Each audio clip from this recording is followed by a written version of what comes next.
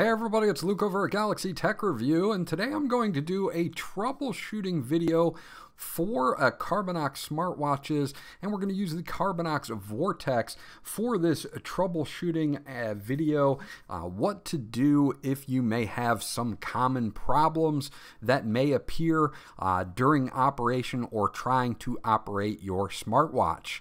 So we're going to dig into this now, and I'll be right back.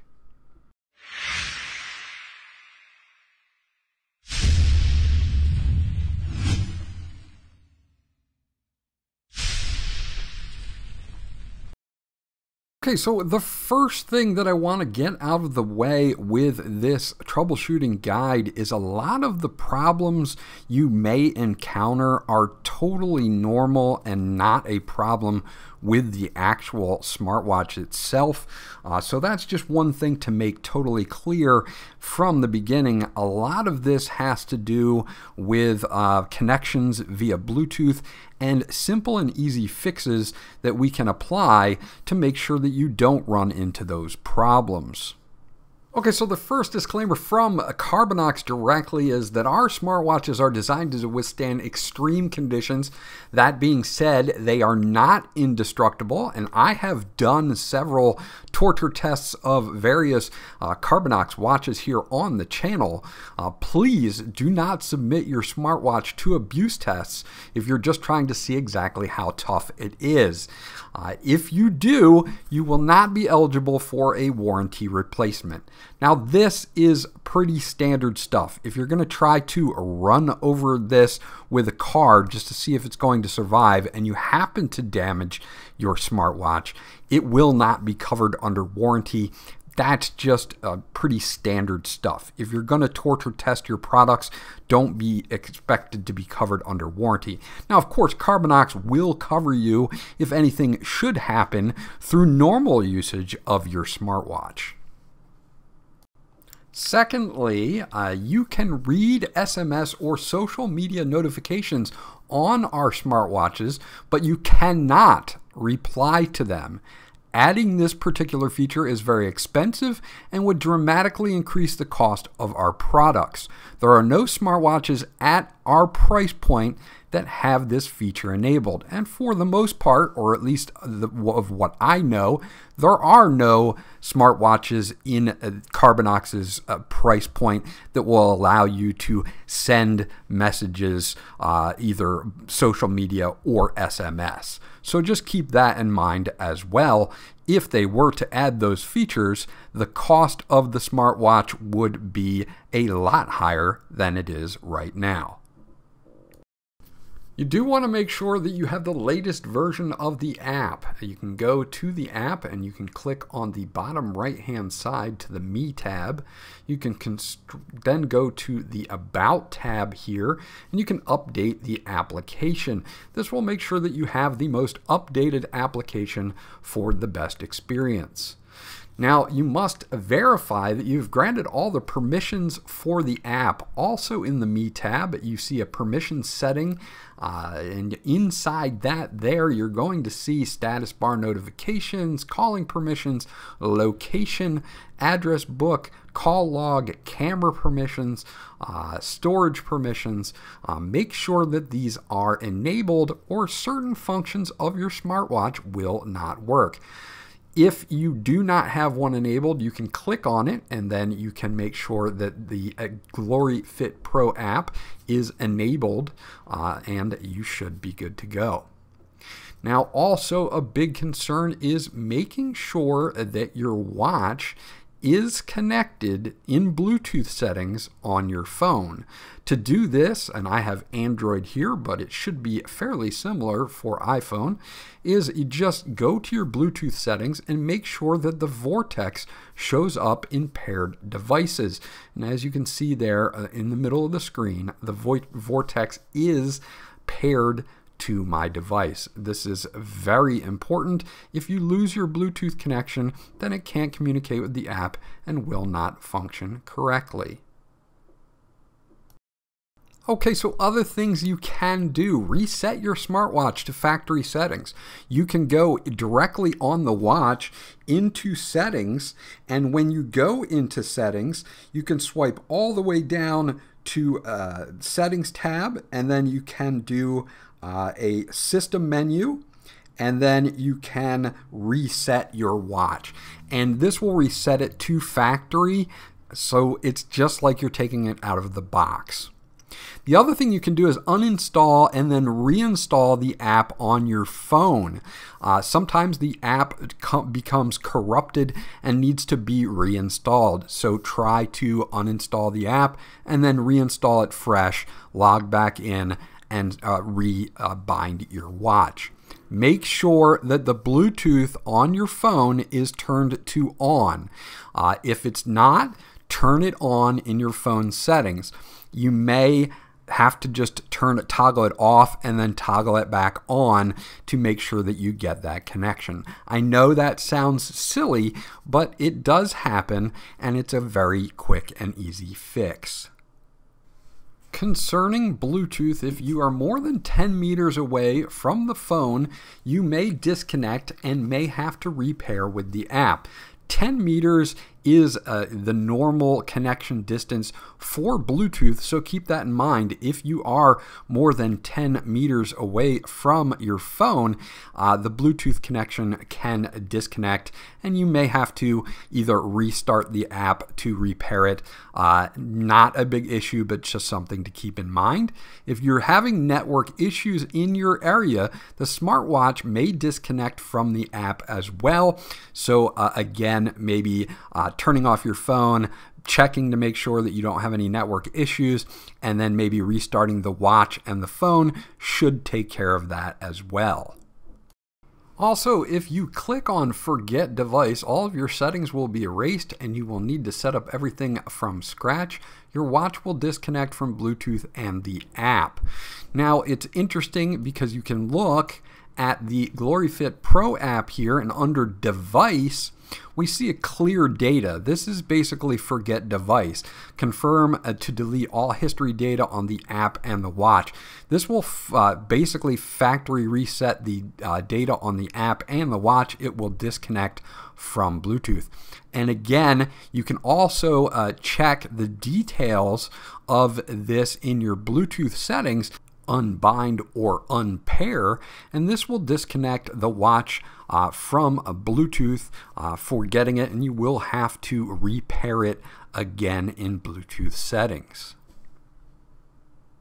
If your smartphone happens to run out of battery 100%, you may have to connect your smartwatch again in the app.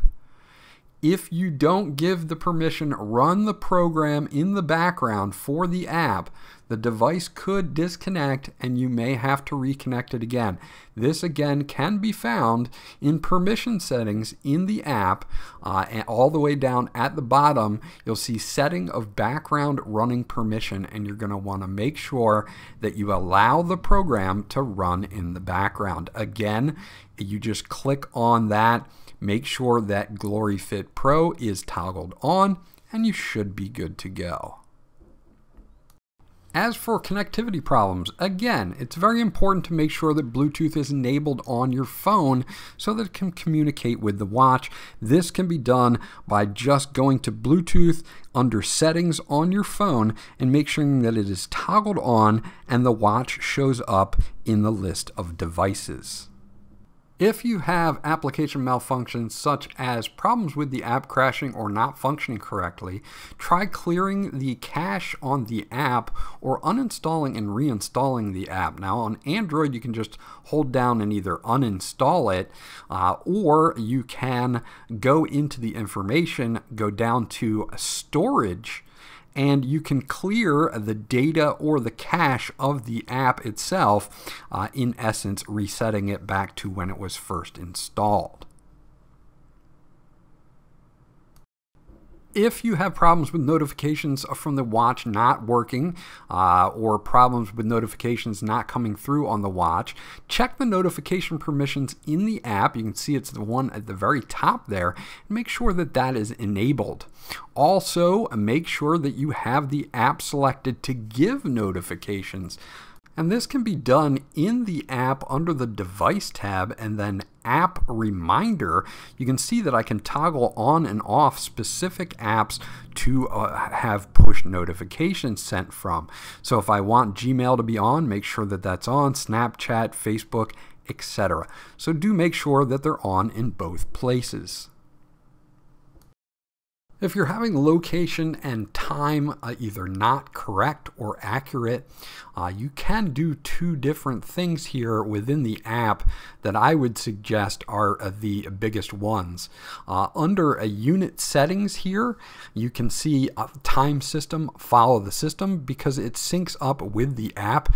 The watch uh, will have the correct time from the app to the watch. So make sure that that is connected as well as going in to permissions again and making sure that that one that says location permissions is definitely enabled here.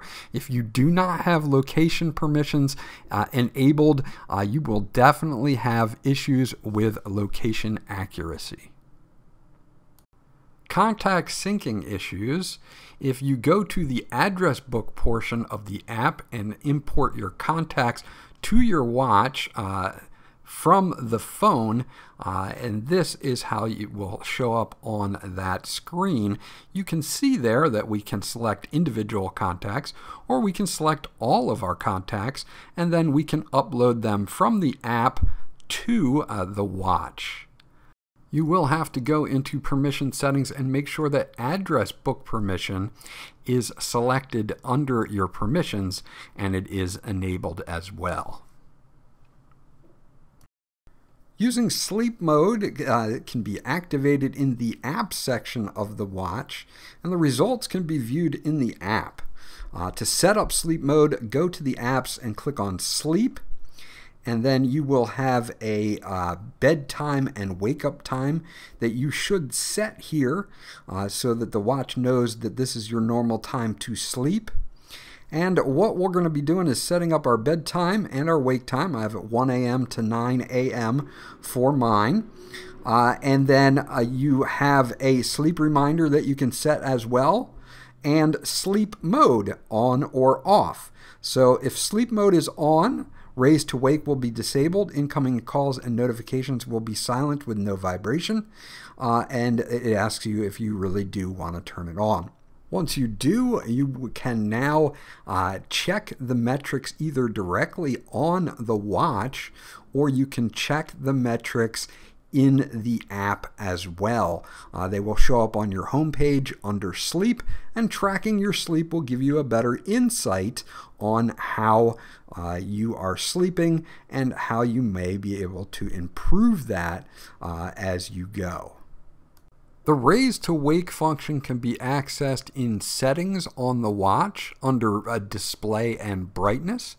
You can see there's a toggle there for raise to wake. Just toggle that on uh, and you can also do uh, switch watch faces when you do that and there's another one for tap to wake underneath it as well so you can have all three of those on if you would like but that's how you enable raise to wake which means that every time you do uh, tilt your uh, hand backwards, the screen will go off to help you maximize battery life, only turning on when you raise it to face you. So that is a one way uh, to save battery life is to use the raise to wake feature. So this is the conclusion of my troubleshooting video for a Carbinox uh, showcasing the Vortex smartwatch.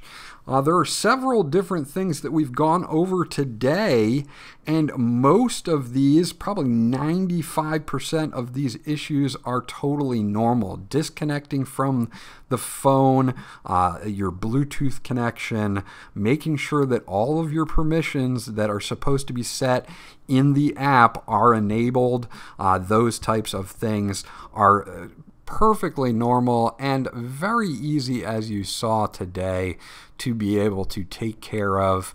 Uh, I do encourage you if you have other issues that you can't sort out by yourself or with the help of this video to contact uh, Carbinox directly if further assistance is needed. This was Luke from Galaxy Tech Review. I hope that this troubleshooting guide has helped you out and I'll check you guys out on the next video.